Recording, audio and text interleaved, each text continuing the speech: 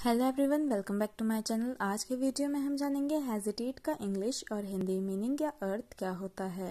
Hesitate इसका हिंदी अर्थ है हिचकिचाना, संदेह करना, संकोच करना, संकुचाना, दुविधा में पड़ना हिचहिचाना डगमगाना आगा पीछा करना, झिझकना।